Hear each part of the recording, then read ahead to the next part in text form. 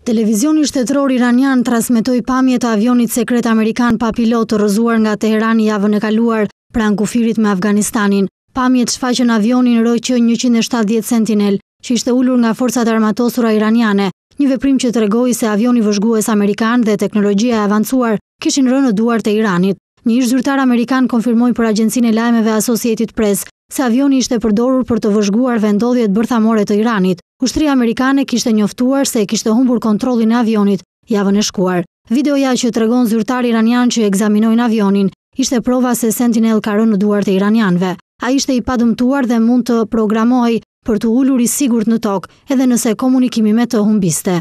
Një ekspert robotësh që ka shkruar për përdorimin e avionëve pa pilot në luftë, tha se Sentinel ishte programuar të lëvizte në ajër ose të ulej nëse lidhja komunikuese me të humbiste. Përpara se avioni të shfaqej në televizionin iranian, zyrtarët amerikanë dhe ekspertë të tjerë kishin deklaruar se ai mund të ishte përplasur dhe në duart e Iranit mund të binin vetëm disa pjesë. Zyrtarë të Pentagonit refuzuan të komentonin këtë çështje, duke thënë se nuk flasin për programe të klasifikuara të survejimit.